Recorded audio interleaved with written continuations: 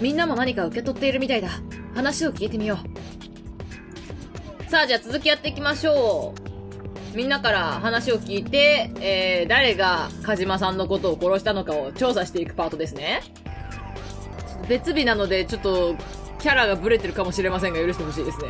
あ、あの、小春は、こんなものをもらいました。これは何かの実験道具かな指紋採取キットだそうです。指紋採取って推理ドラマで警察が使ってるあれのこと？だ、だ、多分それです。これを使えば指紋が取れます。なんだか本格的だな。小春ちゃんは使い方を知ってるの？はい、一応、簡単な科学の知識ならあります。あれだよね、14歳でバーバード大学行ってるから、あの、めっちゃ頭いいって子だから、まあそういうトリック考えられても不思議ではないかもしれないね。何か怪しいものを見つけたら、小春に教えてください。ね、小春ちゃん自身がみんなの味方だったらめっちゃ強いけど、これでなんか裏があるキャラとかだったら相当怖いよね。あ一応ね、あのー前回も言ったかもしれないんだけど、小春ちゃんと三宅さんのどっちかが殺してると思ってて、三宅さんが犯人だったらなんかまっすぐすぎるかなって、そのまんますぎるかなって思うので、私の中の、あの、一晩経っての最有力候補は小西小春ちゃんなのよ。まあ全然ね、情報が出揃ってないから、まだ何とも言えないんだけどね。他のこの3人の可能性も全然あるから。私が受け取ったのは、ルミノール反応キットよ。ルミノール反応キット、ほうほう。ルミノールって、確か血液に反応して光るんだっけ？ええ、推理ドラマとかでよく見かけるわね。でも、カジマは血を流していなかったようだし、一体何に使えっていうのかしら？うーん。被害者が血を流していないのなら、現場からルミノール反応が出るはずないもんね。あー、何か血が、被害者から血は出ていなかったかもしれないが、えーどっか、もしかしたらね、あのー血がないように見えて、この辺血があったわよ、みたいな反応が出るかもしれないよね。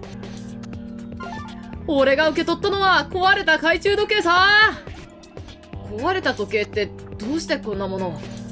全く意味不明さ。ゴミを押し付けられただけさ。もしかすると時計の止まった時間が鹿島さんの死亡時刻とかいやそれは違うと思うさ。時計の針は8時で止まってるからな。午前だとしても午後だとしてもカジマーがまだ生きていた時間さ。8時で止まっている。なるほど。そういえばそうだね。こんなものが一体何の手がかりになるって言うんだ？あー、わからん。俺が受け取ったのは水中ゴーグルだよ。オアシスに潜れってことかな。こんなもの、一体どう使えってのさ。うーん、水といえばオアシスだよね。もしかするとそこに何か沈んでるのかも。なるほどね。でもさ、オアシスって広いじゃん。もし何かあったとしても、泳いで見つけるのは無理じゃないかな。確かに、沈んでる何かだけじゃ探しようがないかもしれないな。何かが沈んでるじゃなくて、これが沈んでるって確定させてから探さないと見つけられないかなってこと？うん。私が受け取ったのは、能力者チェッカーという道具よ。能力者チェッカー。能力者チェッカー？一緒に置かれていたメモによると、相手が能力者かどうかを判別する道具みたい。え、でも全員能力者なんじゃないの？エベスさんはこれを使って、私たちを見つけ出したのかもしれないわね。なるほど。能力者に反応する機械か。でも、ここにいるのは全員能力者だよね。誰に使っても結果は同じじゃないのそうね。試しに海老原くんに使ってみましょうか。え、僕に？行くわよ。ピピピピ。ちゃんと反応しているわね。まったく。こんなものが何の役に立つというのかしら。ああ、全員から聞いたけれども。みんなが受け取ったものを確認したけど、使い道がなさそうなものばかりね。この中で役に立ちそうなものといえば、指紋採取キットくらいでしょうか。セントの手帳も参考になると思うよ。誰かが犯人に襲われた時にさ。不吉なことを言わないでほしいさとにかく、道具の確認はできたようだし、砂漠へ戻って手がかりを探しましょう。ここで話をしていても、貴重な時間を無駄にするだけ。そうだね。総会は今日の夕方。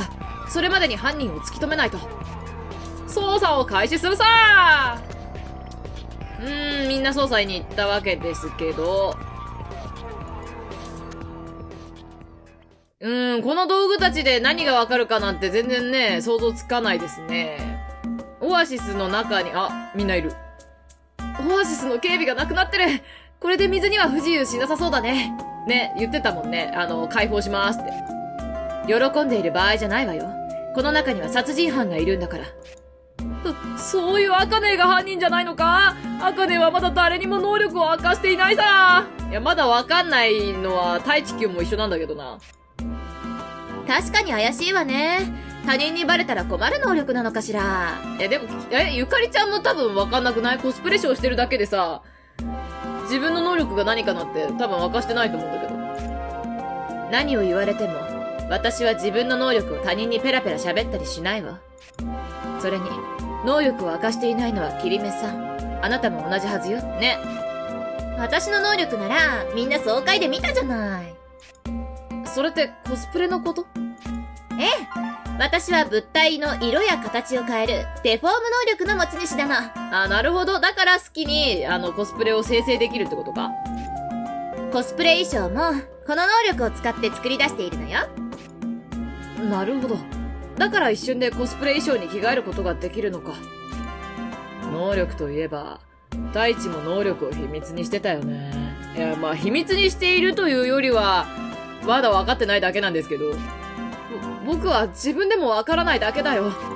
本当かな？隠してるだけじゃないの？そ、そういう三宅さんだって、事件が起きる前から、鹿島さんが死ぬとか言ってたじゃないか。そうなのか？ああ、それなら、俺の能力が教えてくれただけだよ。三宅の能力って何？俺の能力は地獄耳。遠くの話し声が聞こえるんだ。え、カジマ、殺す、殺す、殺す、みたいな声が聞こえてきたってこと？まあ、話し声って言っても、そんな独り言で言う人もおかしいと思うし、え、話し声だったんだとしたら会話をしていることになっちゃうから、共犯者がいる可能性があるのか？いや、それはこの人数で共犯者は結構痛いな。あの時も、誰かの声が聞こえたんだよ。カジマを殺すとかなんとかってね。あー、誰かがカジマさんの殺害を計画していた？どうせ犯人はミツルよ。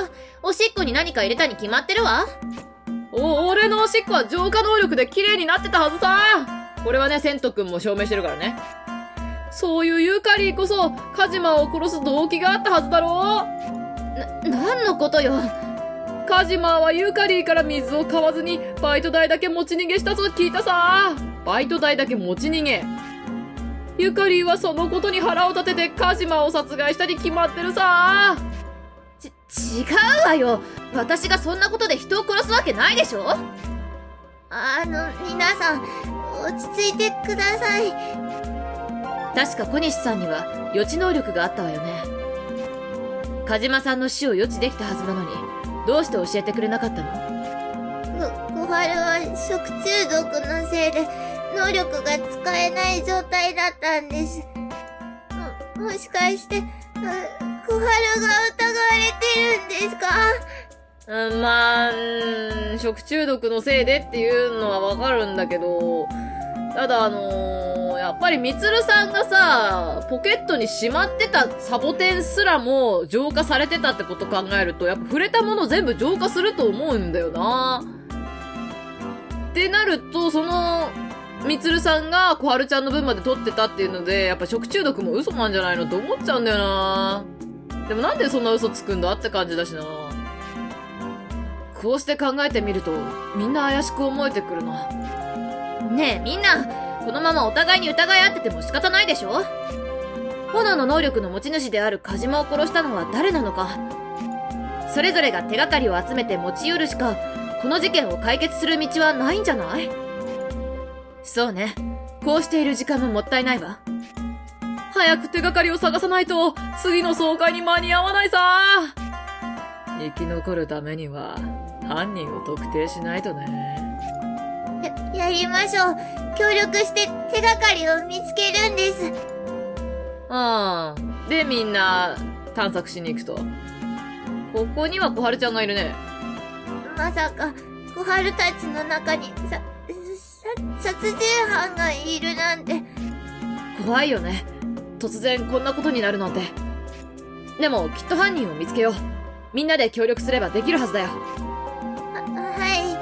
小春も一緒に頑張ります。うん。ところで太一さんは犯人に心当たりはありますか？うん一番疑ってるよ君を。誰か気になる人物とか？うんまだまだ出てないかな。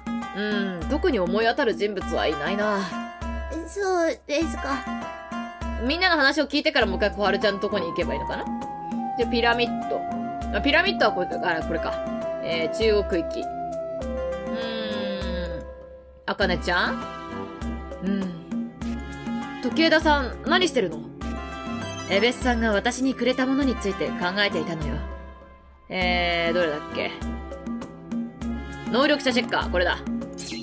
上限。能力者チェッカーだね。この機械は能力者だけに反応して相手が能力者かどうかを見分けることができる。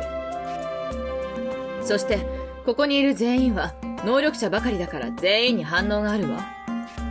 つまりこのことから導き出される答えはごくり。ここでは何の役にも立たないということよ。学それが結論なの？だってそう考えるしかないじゃない。ここには能力者しかいないんだから。それともこんなものが役に立つと言える根拠でもある？根拠？エベスさんは能力者一人一人に殺人捜査に役立つものを配ったはずだ。そう、これ、これだよ。エベスさんが言っていたよね。これは殺人捜査に役立つものだって。きっと意味がなさそうに見えても、何かの手がかりになるはずなんだよ。あいつが嘘をついていなければ、だけどね。まあいいわ。もう少し考えてみましょう。うん。あ、あかねちゃんこっちにいる。時枝さん、能力者チェッカーの使い道は分かった一つ思いついたことがあるの。私は今まで、この道具は人間に対して使うものだと思っていたけど、物に対して使ってみたら、どうなるのかしら。物に使う？その道具は能力者にしか反応しないんだよね。能力者が使った能力が付与されたものだったら、反応するのかな？そう。能力者にしか反応しない。でも、やってみる価値はあると思うの。海老原くん、何か試せそうなものは持っていない？今は試せそうなものを持ってないな。なるほど。探しに行けばいいのね。俺、ポップアップ。サボテン地帯行こう。えー、三宅さんがいる。殺人犯の手がかりね。太一は何か見つけたの？いや、僕はまだ何も。このままじゃ日が暮れちゃうよ。手がかりがどこかに落ちてればいいんだけど。落ちてる？水中ゴーグル？いや、わかんないな。ちょっと他の話聞いてからもう一回やろうか。岩場。あ、さ、あー、二人。えー、っと、みつる。寝ている間に気を失ってしまったんだな焚き火に覆いかぶさるように倒れているさ。あ？なるほど。かじまさん、どうしてこんな倒れ方を？ああ、焼灼、ん焼灼止血法って止血されてるんじゃない？これ。ん？よく見ると、カジマの胸に焼け焦げた跡があるさ。焚き火に焼かれて熱かったと思うさ。ナムナム。頭や背中に外傷はなさそうだな。よし、俺はそろそろ行くさ。他の場所でも手がかりを探してみないとな。カジマを殺した犯人は、必ず俺が突き止めてみせるさ。うん仲間思いのいいやつじゃないか。まさかあのカジマが死ぬなんてね。元気だけが取り柄みたいなやつだったのに。一緒に生き残ろうって約束したのに、こんなことになって悲しいよ。せめて私たちの手で、カジマを殺した犯人を見つけてあげましょう。この死体を見て何か気になることはある？これは、えー、焼け焦げた後、じゃない？予言。カジマさんの胸には焼け焦げた跡があるみたいなんだ。なるほど。この状況から考えると、胸の焼け焦げは焚き火の炎が原因でしょうね。カジマは夜中に食中毒で意識を失い、燃え盛る焚き火の上に倒れてしまった。にしては覆いかぶさりすぎだから多分違う。そして、胸を焼かれ続けた結果、自然と死に至ってしまったのよ。彼は殺された。うん、これだ。能力者の誰かに殺されたから。いや、これは殺人事件だったはずだよ。その説明だと事故死になってしまう。そ、そっか。でも、カジマの死体には殴られたり首を絞められた跡はないようだし。そういえばゆかりさんは、エベさんから道具をもらってたよね。ルミノール反応キットのこと？うん。それを使えば何か手がかりが見つかるかもしれないよ。わかったわ。やってみましょう。さあ、どうなった？うーん、血液の痕跡があれば、これでちゃんとわかるはずなんだけど。ルミノール反応が出たのは、カジマさんの胸の周辺だけだったね。やけどから血が滲み出たと考えれば、特におかしな点は見当たらないな。犯人を特定するにはまだ情報が足りないわね。もっと手がかりを集めましょう。これ、凶器何なんだろうなうーん。水中ゴーグルかなあ、違うみたい。あ、違うみたい。あ、これで下がることはないのか。ピロピュロロロンってなるんだ。初めて知ったわ。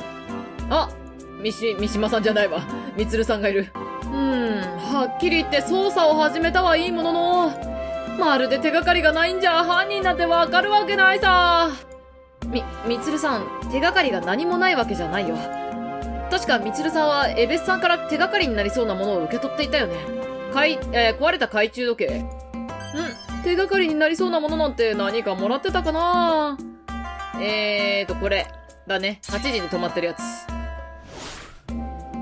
みつるさんは壊れた懐中時計をもらっていたはずだ。ああ、そういえばそうだったさでもこんなものはただのゴミさ。手がかりにはなりそうにないさ。あれ、その時計よく見ると、蓋の裏側に名前が振られてあるよ。えー、マジかどれどれ？聖護秋山。秋山聖護と書かれているさ。名前からすると男性みたいだけど、そんな名前の人物は知らないな。もしかすると、その秋山ってやつがカジマを殺した犯人じゃないか？いや、エベスさんは僕たちの中に犯人がいると言っていた。知らない人物が犯人だとは思えない。じゃあ、やっぱりこの時計は、エベスさんの嫌がらせに違いないさ。こんなゴミ、タイチにくれてやるさ。え、ええも、もらっていいの？持っててもどうせ役に立たないだろうし、好きにするといいさ。壊れた懐中時計を受け取りましたと。なるほどね。で、これあかねちゃんに見せるんじゃない？時枝さん、能力者チェッカーの使い道は分かった？んで、これか。えー、っと、試せそうなものあるよ。みつるさんからもらった壊れた懐中時計があるけど。それで試してみましょう。行くわよ。ピピッピピ。少し弱いけど、能力者チェッカーが反応してる。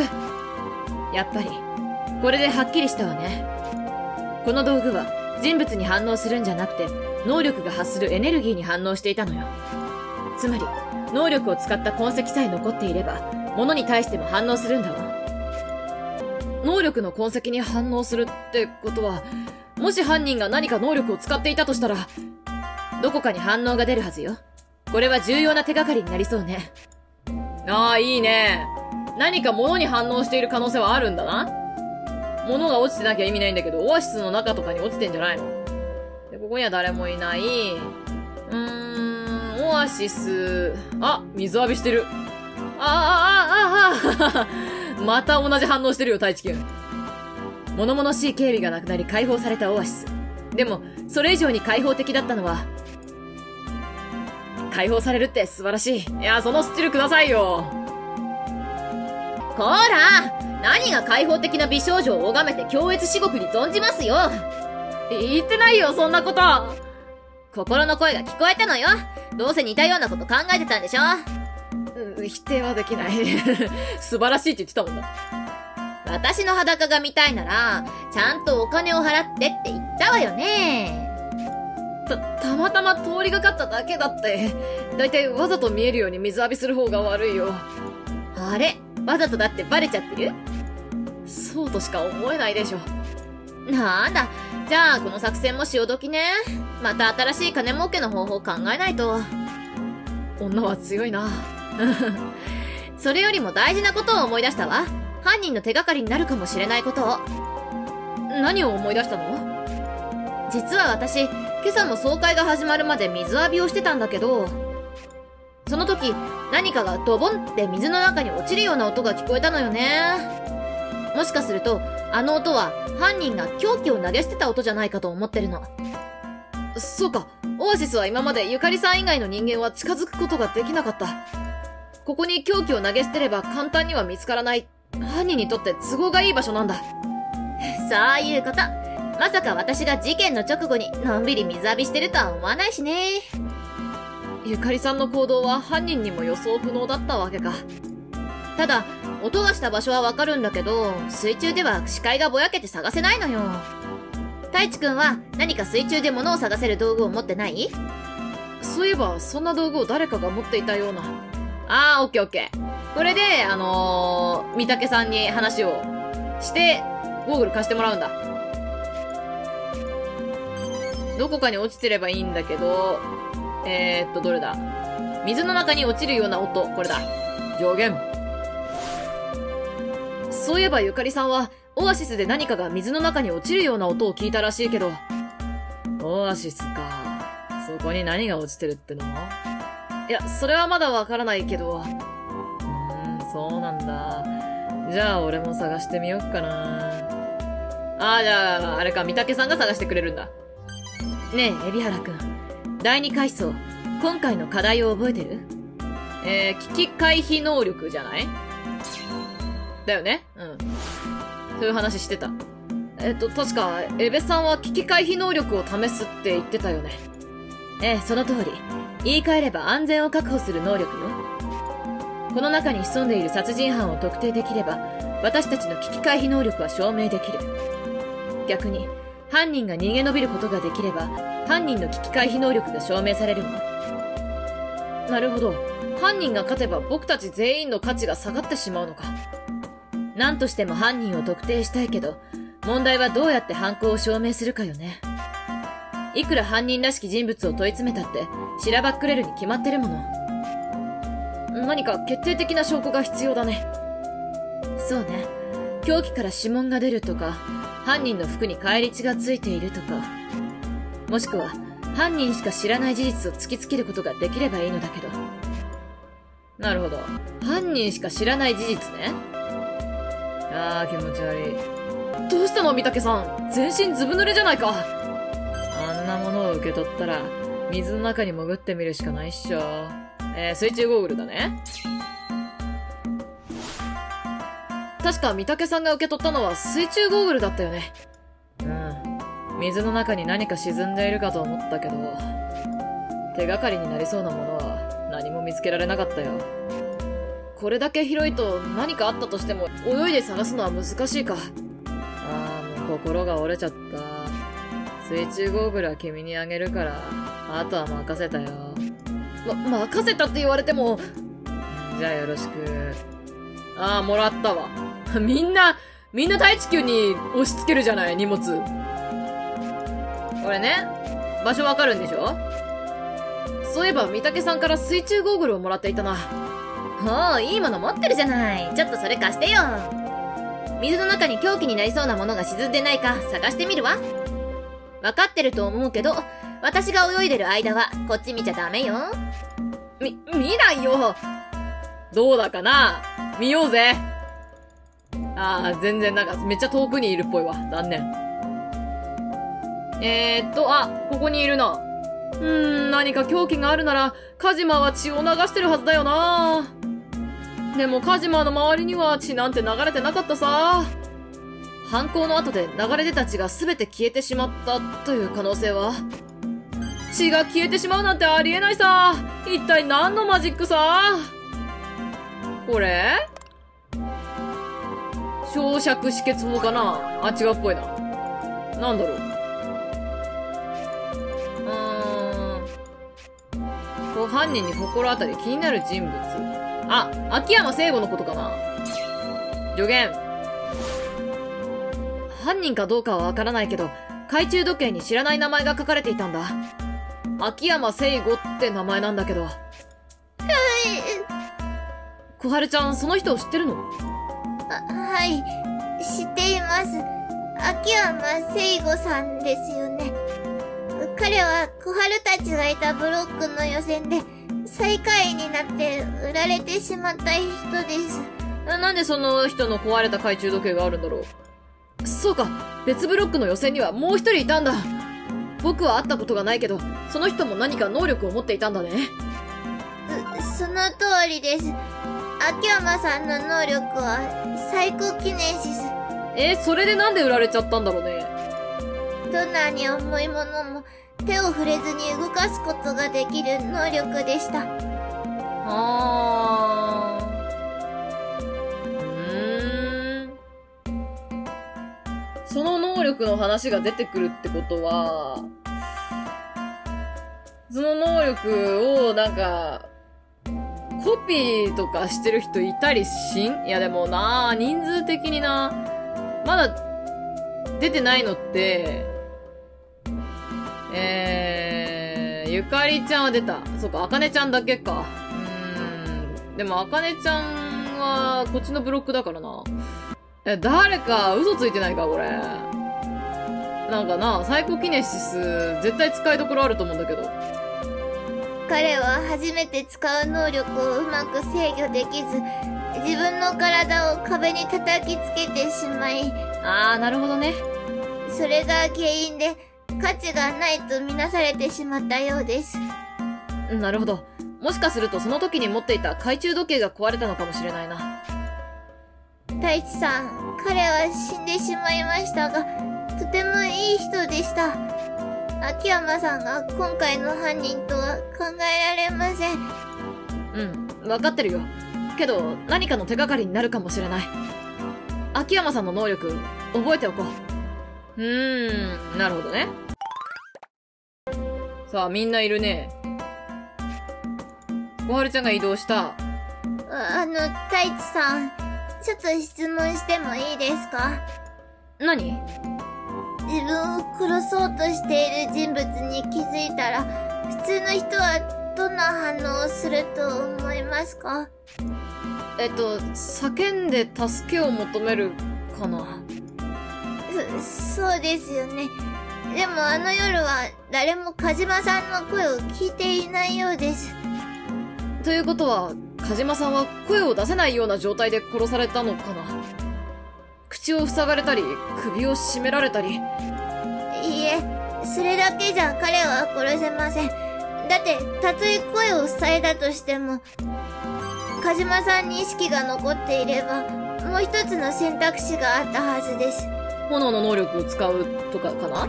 あ、違う？なんだろう？もう一つの選択肢、なんだろう？え？なんかあるか？なえー、まだなさそうかな他から入手するのか？えー、ここに、あ、三宅さんがいる。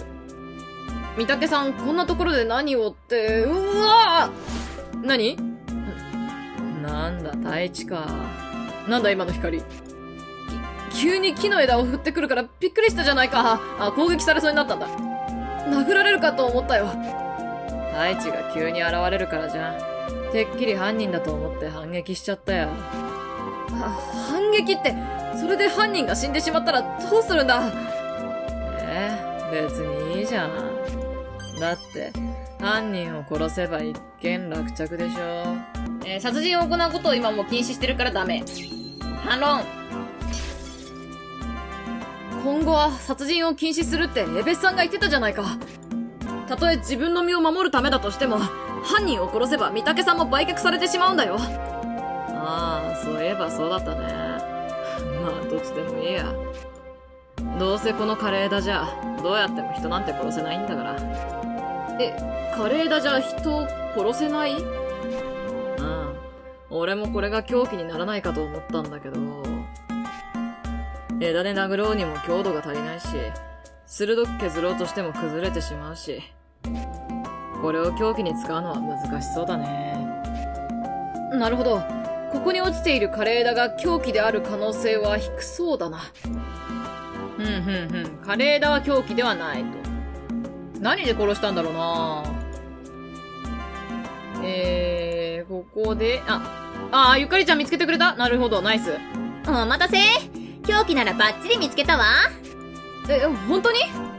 ほらこれ、人を殺せそうな鋭利に尖った骨よ。あ、骨か。なるほどね。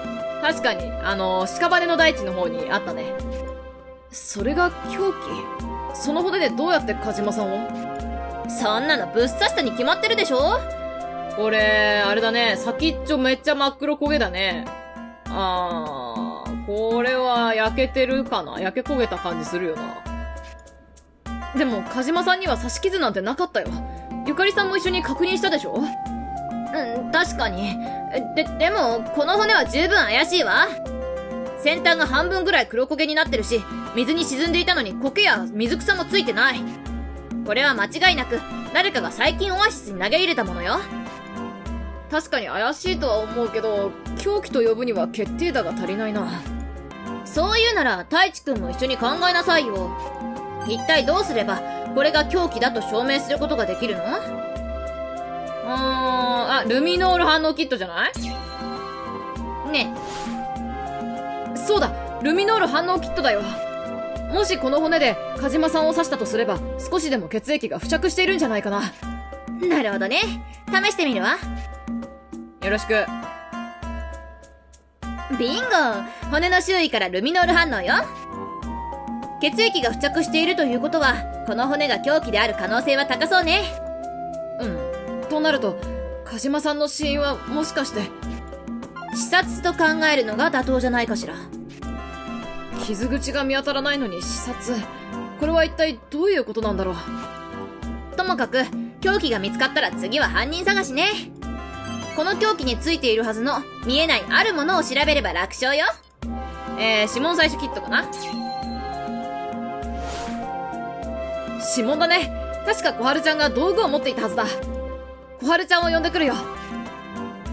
で、小春ちゃんを呼んでくると。オッケー？えー、小春ちゃんどこにいたかな？サボテン地帯だっけ？あれいないわ。どこだ？小春ちゃん。ちゃん小春？あ、いないな。あ、いたいたいた。え、凶器を見つけたんですか？うん。確か小春ちゃんは指紋採取キットを持ってたよね。それを使って、凶器から犯人の指紋を見つけてほしいんだ。わ、わかりました。すぐに向かいます。さあ、頼んだ。なるほど。これが凶器で間違いないんですね。うん。ルミノール反応も出たし、怪しいことこの上ないわ。あとは犯人の指紋さえ出れば、この事件は解決よ。わ、わかりました。では、早速凶器をお預かりします。鑑定結果が出たら報告するので、しばらく待っていてください。ええ、小春ちゃんに任せるわ。エベスさんの目的ってさ、俺らの命を高く売ることだったよね。でももしかすると、売るだけじゃなく、買うことだってあるんじゃないのかな。これは皆様の命を売買しているって言ってたからね。エベスさんは運営者であると同時に投資家の一人でもあると言っていた。あの口ぶりからすると日常的に命を売ったり買ったりしているみたいだよ。うーん、なるほど。じゃああいつのご機嫌を取れば俺たちの価値も上がるかもしれないね。反対に機嫌を損ねてしまったら価値が下がる可能性もあるけどね。うんうんうん、そういう話をしてたな。あと誰に話聞けばいいんだ？あかねちゃんは、まだか。どうだいあ、かおるちゃんどうだいわかったかなあ、太一さん、お待たせしました。実は、もしかして凶器の鑑定が終わったのあ、はい。わかった。みんなに集まってもらおう。それで、誰が犯人かわかったのもったいぶらないで早く教えてほしいさあの、実は、うんうん。凶器を隅々まで調べてみたのですが、犯人の指紋は検出できませんでした。ということは、誰が犯人かわからなかったの？すみません。一生懸命やってみたのですが、で、出なかった？犯人の指紋が出なかった？犯人、うーん。え、でもさ、ゆかりちゃんの指紋は出るよね？多分ゆかりちゃん触ってるし。で、小春ちゃん自身も、どうなんだろう？直接触ったのかどうかわかんないけど、直接触ったんだったら指紋出ると思うんだけど、まあ、二人が犯人じゃないと断定できる何かがあったってこと？小春ちゃんの中で。仕方ないよ。凶器の状態も良くなかったみたいだしね。それに、もし犯人が凶器を直接触っていなければ指紋は残らないさ。捜査は振り出しに戻るか。小西さん、ちょっといいかしら？な、何ですか？その指紋採取キット、どれくらいの精度があるか気になるの。もしよければ、私にも凶器を調べさせてくれない？い、いいですけど、結果は変わらないと思いますよ。いいのよ。私が自分で納得したいだけだから。わかりました。よろしくお願いします。うん。これで終わりか？捜査。